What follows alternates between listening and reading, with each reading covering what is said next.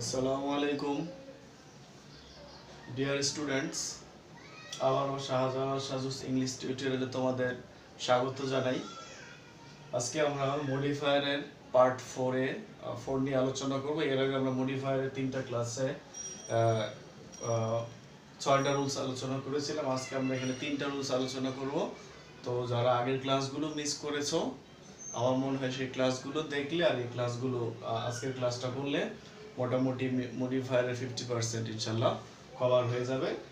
তো আমরা আলোচনায় চলে আসি। প্রথমেই আছে কোয়ান্টিফায়ার তাহলে কোয়ান্টিফায়ার শব্দটা আমরা মনে এর আগে শুনেছি অ্যাজেটিভ অফ কোয়ান্টিটি ওই কোয়ান্টিটি আর কোয়ান্টিফাই একই কথা, যেটা দিয়ে পরিমাণ বোঝায়। কোয়ান্টিটি মানে হচ্ছে পরিমাণ। তাহলে দেখো, পরিমাণ কীরকম বোঝায়? মাস little vast a lot of one two ইত্যাদি। এরকম এই এই যদি বলে যে কোনো কোয়ান্টিফায়ার দিয়ে তোমার মডিফাই করতে, তাহলে এই জাতীয় কোনো শব্দ আনলেই প্যাসেজ অনুযায়ী আর কি এই জাতীয় কোনো একটা শব্দ এনে শূন্যস্থান পূরণ করলে হয়ে যাবে। মনে রাখতে হবে কোয়ান্টিফায়ার মানে হচ্ছে পরিমাণ বোঝায়। তাহলে পরিমাণ বোঝায় কোয়ান্টিফায়ার দিয়ে, সেটা দিয়ে বেশি, কম, অনেক, অল্প, বেশি, এক, দুই, এরকম যে কোনো পরিমাণ বোঝাতে পারে। আমি একটা একটা উদাহরণ এখানে লিখেছি। Dash students missed the previous class আগের ক্লাসটা মিস করেছিল। তাহলে এখানে আমি লিখেছি use quantifier to pre modify the noun তাহলে প্রি মডিফাই দ্য নাউন মানে হচ্ছে আমরা জানি অ্যাডজেক্টিভ কিন্তু এখানে আবার উল্লেখ করে দিয়েছে কোয়ান্টিফায়ার দিয়ে, যেটা দিয়ে পরিমাণ বোঝাবে। তাহলে এখানে আবার লিখতে পারি some many few a lot of যে কোনো একটা লিখলে হবে সেন্টেন্স অনুযায়ী। তাহলে some students missed the previous class মানে হচ্ছে কিছু স্টুডেন্ট আগের ক্লাসটা মিস করেছিল। তাহলে আমরা মনে হয় কোয়ান্টিফায়ারটা বুঝতে পারলাম। তারপর আট নম্বরে আছে ইনফিনিটিভ তাহলে ইনফিনিটিভ হচ্ছে এক ধরনের নন ফাইনাইট ভার্ব এবং এগুলো চেনার উপায় হচ্ছে টু এর পরে সবসময় ভার্বের প্রেজেন্ট ফর্ম বসবে আর ইনফিনিটিভগুলো দিয়ে সাধারণত সবসময় উদ্দেশ্য বোঝায়। তাহলে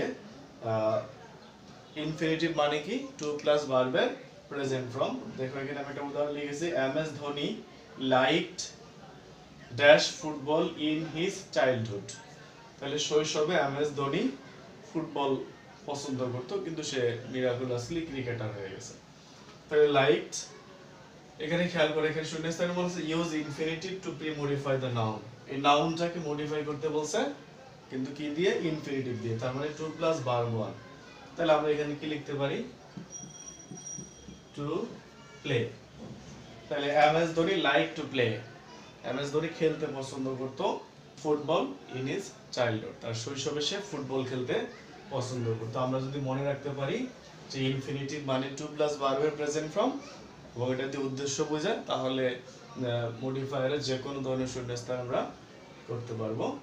আমরা চলে আসি নয় নম্বর রুলসে নয় নম্বর রুলসে আছে ইন্টেন্সিফায়ার শব্দগুলো, এই ওয়ার্ডগুলো যাদের কাছে নতুন তারা একটু অর্থগুলো যদি মনে রাখতে পারো, তাহলে আর তোমাদের কোনো সমস্যা হবে না, আমার বিশ্বাস।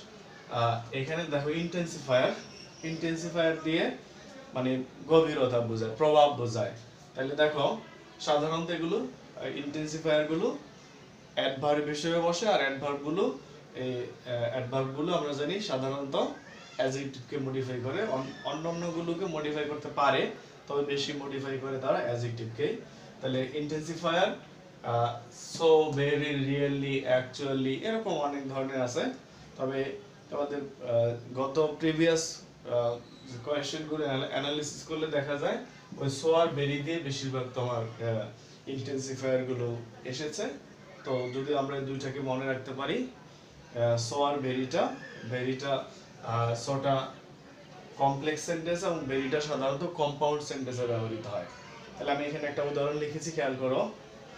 দ্য ডে ওয়াজ হট দিনটা ছিল গরম। কিন্তু এখানে বলছে use intensifier to premodify the adjective অ্যাডজেক্টিভকে pre modify করার জন্য একটা ইন্টেন্সিফায়ার ব্যবহার করতে বলছে। অ্যান্ড দে ওয়ার টায়ার্ড তাহলে অ্যান্ড ব্যবহার করছি, এখানে একটা কম্পাউন্ড সেন্টেন্স ব্যবহার করছি। সেক্ষেত্রে আমরা এখানে ভেরি ব্যবহার করলে হয়ে যাবে। তাহলে হয়ে যাবে the day was very hot দিনটা ছিল অনেক গরম অ্যান্ড দে ওয়ার টায়ার্ড এবং তারা ছিল ক্লান্ত। এই আমার আজকের আলোচনা ছিল কোয়ান্টিফায়ার পরিমাণ বোঝাবে ইনফিনিটিভ টু প্লাস ভার্বের প্রেজেন্ট ফর্ম বোঝাবে এবং ইন্টেন্সিফায়ার দিয়ে অ্যাডভার্বের উপরে অ্যাডভার্ব অ্যাডভার্ব বোঝাবে সাধারণত এগুলোর অ্যাডজেক্টিভ সম্পর্কে অতিরিক্ত তথ্য দিবে। এই এই ছিল আমার আলোচনা।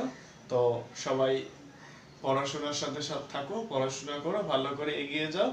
আর কোনো পরামর্শ থাকলে আমাকে দিবে, তাহলে আমি আগামীতে আরও ভালো মানের ভিডিও তৈরি করার চেষ্টা করব। এই তোমাদেরকে একটু জানানোর জন্যই এই আমার ক্ষুদ্র প্রয়াস। তোমরা যদি উপকৃত হও, তাহলে আমার এই ক্ষুদ্র প্রয়াস সার্থক হবে। সবাই ভালো থাকো, সুস্থ থাকো। আসসালামু আলাইকুম।